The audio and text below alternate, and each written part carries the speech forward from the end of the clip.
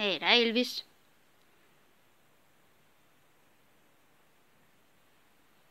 Han er egentlig ikke så slem til det der med at gø.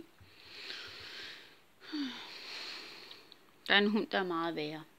Det er den lille hund her helt nedunder. Den er meget værre. Den gør bare det mindste. Bare nye nogle pusler. Og det gør ikke noget. Det er en hundekiks, han har fået fat i.